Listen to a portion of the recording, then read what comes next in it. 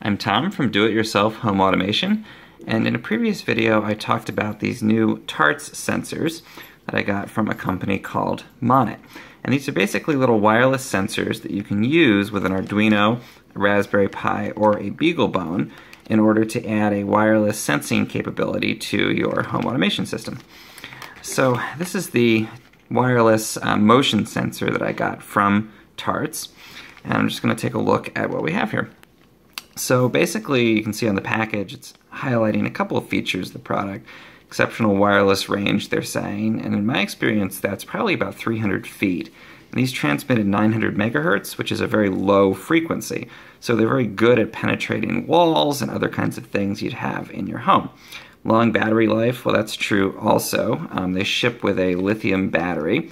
And in my experience, they say it'll last um, up to uh, two years. And um, here it says up to five years actually on the back. I find that if I want to have this transmit every 10 minutes or so, it actually lasts about a year between battery changes, which is still really good um, given that little lithium batteries are pretty cheap. And then 20 sensor types available. So this is the motion sensor. They also sent me a temperature sensor and a door open and close sensor.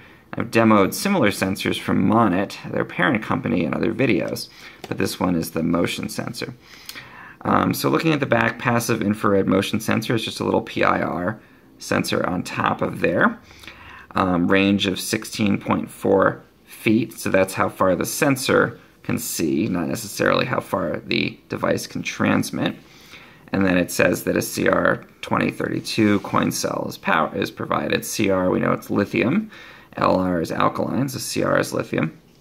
And this works with the Arduino, Raspberry Pi, or BeagleBone gateways. And they sent me an Arduino and a Raspberry Pi gateway, so that's what I'm going to eventually be testing it with.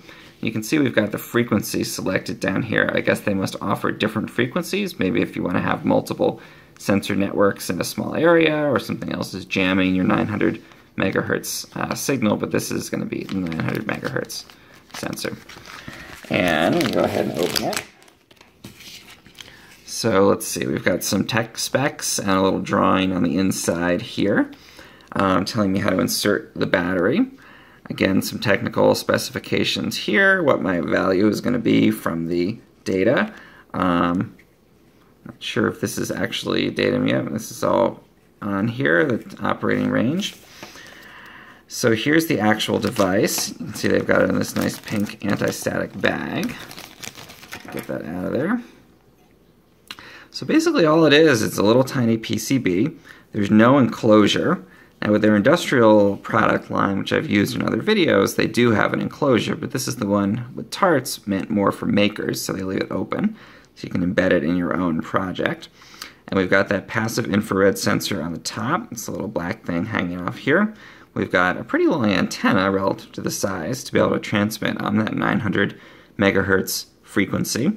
Looks like on the board we have some kind of little microprocessor, a couple of little resistors and things on there, and then it looks like they must have a standard board where they attach all different sensor types, because what we have down here is just a set of contacts, and this one has been soldered onto there, and it looks like we have maybe a little pull-down resistor um, on one of the, the leads there as well.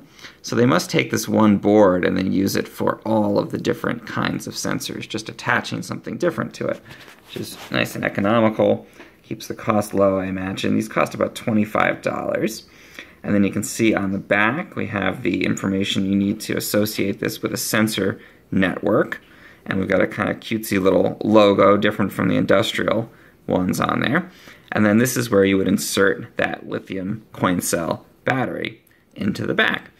So basically, once you have the gateway set up on your Arduino or your BeagleBone or your Raspberry Pi, it looks like you would basically pop the battery in here and then associate this with your gateway, and you would be getting out these sensor values. So zero when there's no motion detected, and a one um, when there is motion detected. So very, very simple device.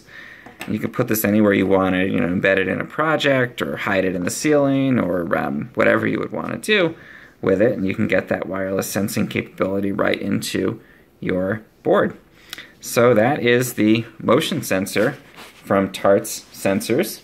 And um, in future videos, I'll probably show how this actually works in practice, and I'll show uh, some of the other sensors that uh, Tarts sent me.